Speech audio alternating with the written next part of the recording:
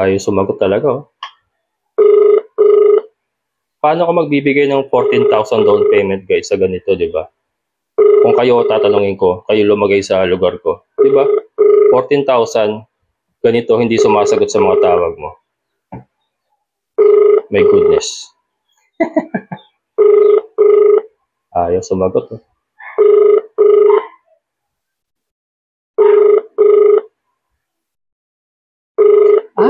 The phone!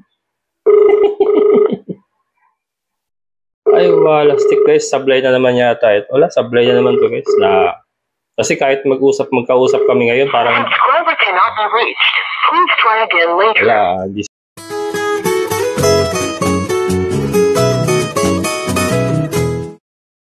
Ayan guys. So natatandaan niyo yung tinawagan natin si Sir Juan Agri Sir Juan Agriventure. Yung in-order natin ng 4 months old na mga decal brown na hens. Ayan, so nag ah, nakapag-reserve tayo ng 80. So yung makapag-reserve daw tayo. Yun nga lang, kailangan mag-down payment ng 30%. So ito tatawagan ko kasi gusto ko muna sanang makapag-video call kami bago tayo mag-send. Pero yung contact number naman niya, ito po ay yung contact number talaga na nakalagay doon sa kanyang ah, FB page. Pero syempre, hindi ko pa siya kasi nakikita. Eh. Ah, meron siyang picture doon sa FB page niya, saka mga video-video. Pero syempre, itong katext natin, gusto ko gusto ko munang makita ah, yung kanyang kag- kagwapuhan. Para yan, at least mapanatag tayo kasi 30%. 80, 80 pieces ang kukunin natin sa 600 ang isa. So that's 48,000. 30% dun is nasa 14,000. So medyo mabigat. Kaya dapat ah, para maging kampante lang tayo, so, tatawagan natin siya. Sana sumagot. Hindi sumasagot sa aking mga text message. Sorry, you do not have enough load Wala in your load. account to make this call. Sorry guys, sorry. Magre-load at magre- Load na tayo. Yan, nakapag-load na ako. Call natin siya.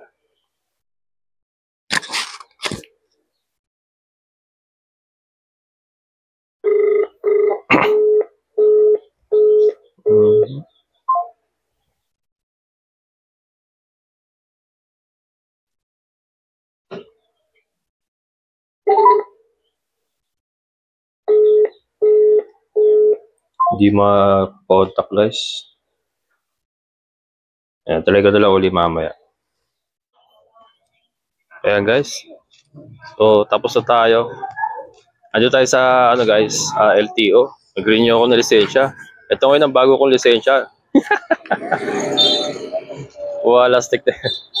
Oo. ang gara ng lisensya natin ngayon, pambira na yan. Pati lisensya. Yung plaka ko, yung plaka ng motor ko, anim na taon na hanggang ngayon wala pa. Kaya nag-renew ako lisensya, papel binigay sa akin, pambira na. Wala pang ano, wala pang plastic ah, card. Ito, LTO po ng ano to? Ah, Muson yata to. Sakop na yata to ng Barangay Muson, San Jose del Monte, Bulacan.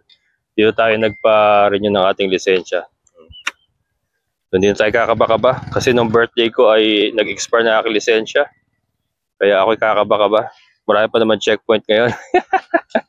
Pero ito, kailan mapalaminate ko to, pambihira na. Masisira ka, eh, hindi, papaserox ko na lang tapos iipit ko sa wallet ko, di ba? Okay, so alright, only in the Philippines. Mm.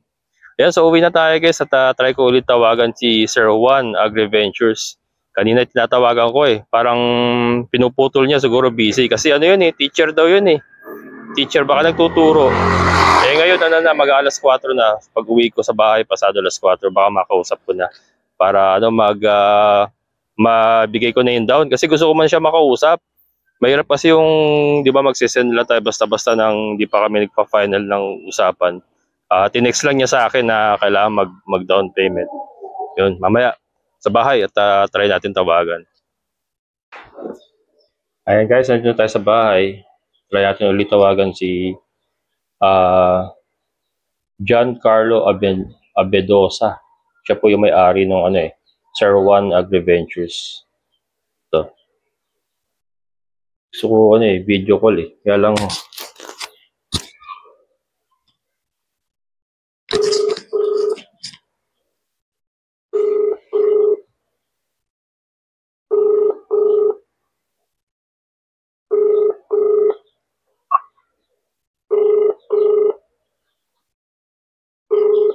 sumagot ah. Mahirap nila kausapin guys.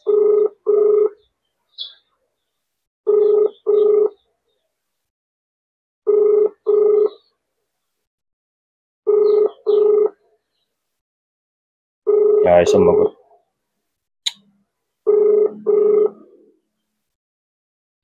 Hindi ko lang kailangan talaga. Kailangan ko lang talaga yung malaki. Ang hirap pakipag-deal sa kanila, yung mga sasabi mga legit talaga na mga breeders talaga.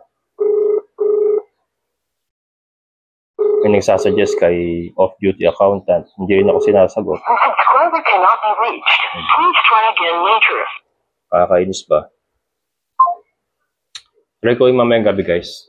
Ah, kasi mag-aalas 5 na, papakaya pa ako ng mga alaga. So yan, mamayang gabi, check uli natin. So kakauwi ko lang kasi galing LTO. Yung nga, nagpalinyo tayo ng lisensya. O, di ba? Astig yung lisensya ko. Papel. And ayan. Mamaya guys, tawagan ulit natin. Ayan guys, kakauwi lang natin. Galing ng farm. Yan. So ito, i-check ko yung text message ko sa kanya kanina. Hindi sumasagot. So ito, ma-share ko lang guys bago natin siya tawagan ulit. Tina tinatawagan ko kasi kaninang ah, alas 5 uli. Alas 5 tumawag. Nag-try ako yung tumawag sa kanya, hindi pa rin sumasagot. So ito, ma-share ko lang guys yung aming conversation. Ah, kaninang umaga kasi, 7 o'clock, tumawag siya sa asawa ko. Yun nga, kailangan daw ng 30% down payment. Kaya kukunin natin is 80 pieces. Ah, 600 ang isa. So that's 48,000. So ang down payment guys na hinihingi niya is ah 14,000 plus. 'Di ba? 14,000 plus. So ako, ah ang sabi ko nga sa kanya, okay lang naman 'yun. Kaya lang, ito nga text ako sa kanya, oh. Sir, okay yung down payment. Pwede ba tayong video call? So yun ang request ako sa kanya, request ko sa kanya. Sabi ko nga, kasi sabi niya teacher daw siya. So sabi ko, pwede ba tayong video call mamayang lunchtime or kung anong oras ka available? Ang nireply niya sa akin ay yung Gcash number niya. Wala man lang, sige sir, or, o, pwede naman sir, walang ganun. Diniretso ka agad Gcash number ang nireply niya sa akin. Hmm. O, after ng Gcash number, anong oras ba to? Itong ano ko. Ah, 10.41 a.m. na. Nakasagot ako, "O- okay sir, pwede ba tayong video call? May mga itatanong din muna ako. Um, muna ako. Tapos tinanong ko, tinanong ko nga yung kanyang FB page na Sir Juan Agriventure. Sabi, tinatanong ko siya, ito rin ba yung FB mo? Sabi niya, sumagot siya, okay po. Para maibigay ko din po yung flyers at guides sa pag-aalaga ng manok. O sige. So after nun, 10.48, hindi na siya nag-reply. Ang tinatanong ko nga kasi yung FB niya para ma matawagan ko nga siya, makapag-video call kami. Yun lang ang sinagot niya sa akin. So, ito, sabi ko, ang dami mo palang kapangalan sa FB kasi binigay nga niya yung pangalan niya. Ang pangalan niya is John Carlo B. Abendoza. Yan ang pangalan niya. So, sinerch ko sa FB. Ang problema, ang dami, ang dami niya kapangalan sa FB. Ayan. So, yun nga sabi ko sa kanya, ang dami mo palang kapangalan sa FB, sir. Sa Sir Juan Agriventure ba pwede kitang tawagan? Walang reply. Ayan, oh. Yan yung mga text ko. Pwede, na ba kitang tawagan or mamaya, mamaya na? That's 10.48 a.m. And then 10.49 a.m. FB page.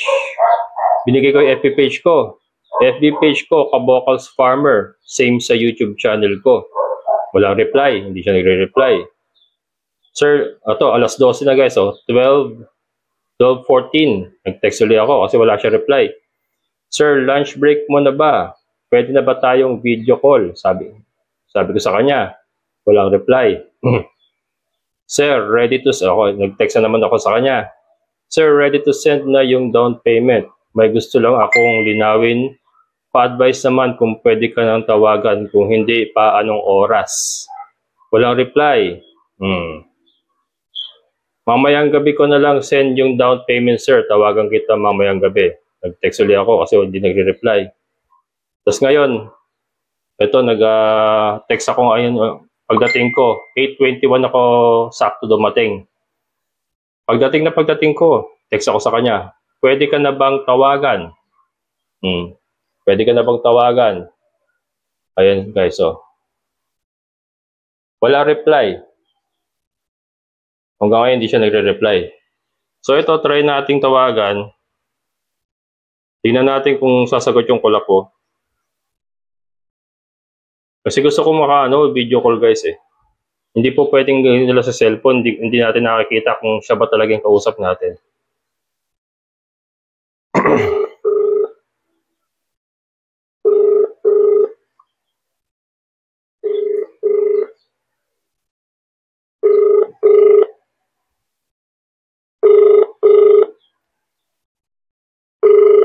Ayos sumagot talaga oh. Paano ka magbibigay ng 14,000 down payment guys sa ganito, di ba? Kung kayo tatanungin ko, kayo lumagay sa lugar ko, di ba? 14,000, ganito hindi sumasagot sa mga tawag mo. My goodness. Ayaw sumagot. Oh.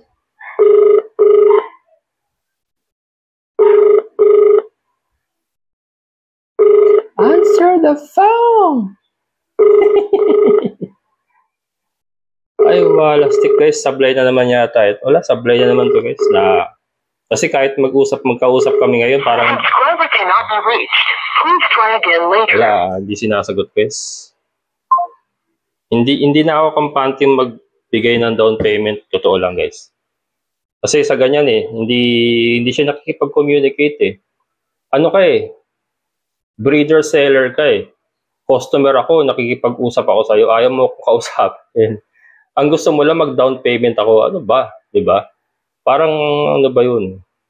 Ginagawa mo na ako masyadong tanga, 'di ba? Kaya ano guys, ito ipa-flash ko sa screen yung kanyang FB page. Ito hindi ko sinasabing scammer to guys. Pero ito po yung naging experience ko sa pagkipag-transaction sa kanya. Ako ibinabahagi ko lang sa inyo Ah, bahala bahala na kayong humusga. Hindi ko po sinasabing scammer siya, pero ito po ang FB page siya. Eh, FB page niya para po maging aware kayo na ito po yung naging tra- katransaction natin ngayon and ganito po yung ginagawa niyang uh, pakipag-usap sa atin.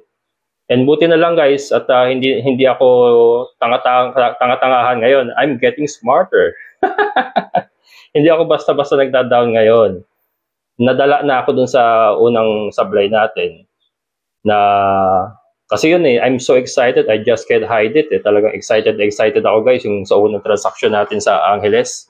Talagang excited na excited ako kaya bum- bumira ka agad ako. Bumira lang ako ng bumira, hindi na ako nag-isip. Pero ngayon, nadala na ako doon sa aking pagkakamali. Kaya doble, doble ingat tayo ngayon. So ito, maghahanap na lang uli kami ng panibago. Ayan guys, may kumuha ng itlog kinuha na yung isang tray na yun na dito kanina. Yan, nandito sa kapitbahay ko kasi yan. Pa-order natin yung isang tray. Ayan, so yun nga. Uh, pending na naman yung ating pagkuha. Uh, so ito, maghanap ulit tayo ng iba pang mapagkukunan.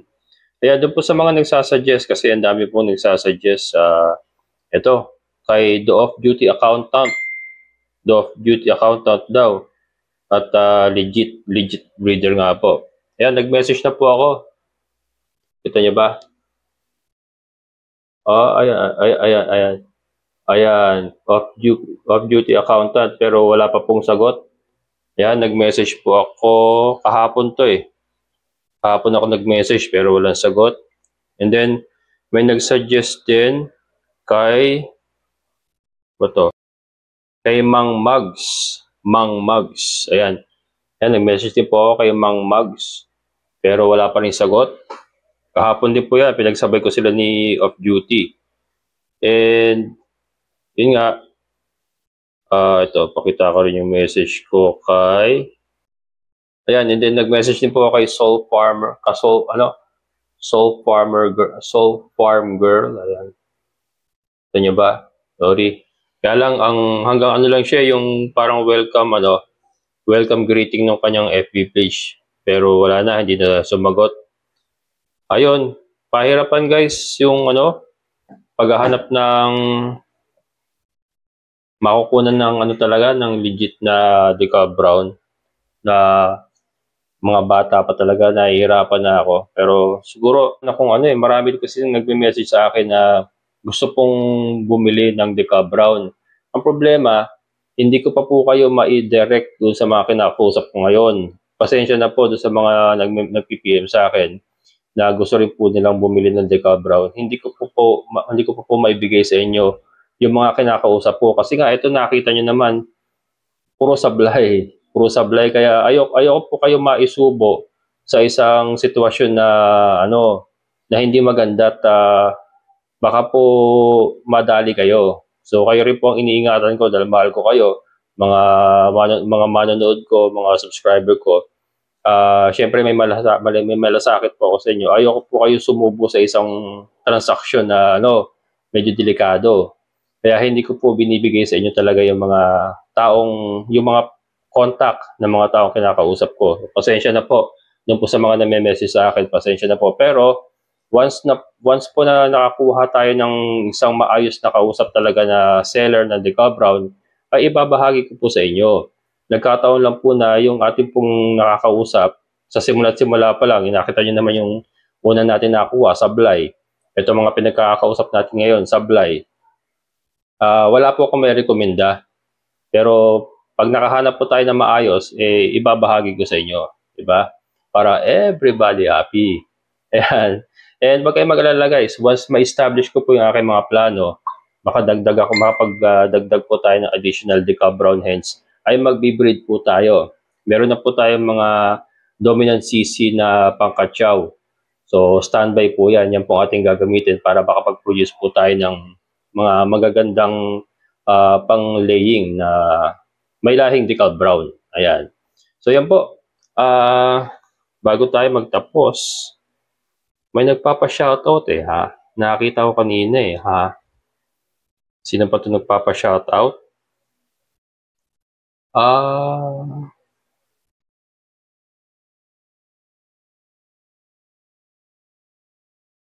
ayun. Yan, si Sir Efren Cuevas. Shoutout sa Cuevas family from Fairview, Quezon City. Evelyn Cuevas. Elise Cuevas, Eunice Cuevas, Errol Jane Cuevas, Eileen May Cuevas, Gino Cuevas, Manilin Cuevas, at kay Efren Cuevas. Yan, shoutout po sa inyo. Maraming salamat po sa panonood. Ayan, so si Sir Efren po ay bibisita sa akin sa linggo yata. Bibili siya ng fertile egg ng Decob ng ah, Rhode Island. Ayan. Shoutout, shoutout. Ayan, so hanggang dito na lang guys. So yun po. The, ano ba tawag? The search for legit seller breeder ng Decal Brown is still ongoing. Hindi pa tayo nakakita talaga ng maayos na kausap. Ayan, so okay lang. Okay lang yan. Ah, tuloy-tuloy lang tayo sa paghahanap. Pero yun nga, huwag kayong mag-alala guys. Once na nakapag-breed si Kabocals, hindi na kayo mahihirapang bumili ng Decal Brown. At ah, pipilitin ko po na mag-reply. Matatagalan man ang aking pag-reply, eh, sisiguraduhin ko pong magre-reply ako sa inyo. Yan. And ito naman talaga guys, aaminin ko, ako po ay delayed din mag-reply. Kasi nakita niyo naman ang aking galawan, one-man army, ako lang lahat ako kumikilos. Kaya po yung aking reply ay madalas delayed. Pero, nagre-reply ako. Nagre-reply ako, nakikipag-communicate ako sa inyo. Hindi ko po malaman ito si Sir Juan bakit ayaw niya makip- makipag-communicate. Ito nga, willing na akong mag-down payment eh. Video call lang ang hinihil, inihiling ko sa kanya. Kasi nga gusto ko masilayan na kag- ang kanyang kagwapuan. Ang problema, ayaw niya makipag-communicate sa akin. So, yun. Pero kidding aside guys, um, samahan niyo ako sa aking uh, ano tawag- matatawag dito? Sa aking ah, mga plano na ipagpatuloy po ang ating ah, pag-aalaga ng Deca Brown. And soon, soon guys ay magbe-breed na tayo and ah, open for selling na po tayo ng mga Deca Brown. Hindi na kayo mahirapan. Yan, at hindi ko kayo pahihirapan. hindi ko kayo pahihirapan. Makikipag-communicate ako sa inyo na maayos. Ayan. Hanggang dito na lang guys at umaba na, pasensya na. So maraming maraming salamat po muli sa lahat po ng mga solid ka-vocals and sa mga silent viewers po. Maraming maraming salamat sa inyong patuloy na suporta. And syempre sa ating kaibigan po na lagi po nakasuporta sa akin, si uh, Sir Boyat from US. Sir, thank you po. Ingat po kayo dyan. And sa mga sa mga bago sa channel ko, kung nagugustuhan po ating mga content, sana po yung mag-subscribe na kayo and then click lang po notification bell para ma-notify kayo sa mga bagong videos na upload ko. Hanggang dito na lang guys. Muli, ito ang inyong kabukals farmer nagsasabing sabay-sabay tayong mangarap, magsikap at higit sa lahat ay kumilos at siguradong ulad ang ating amazing na buhay. Bye bye.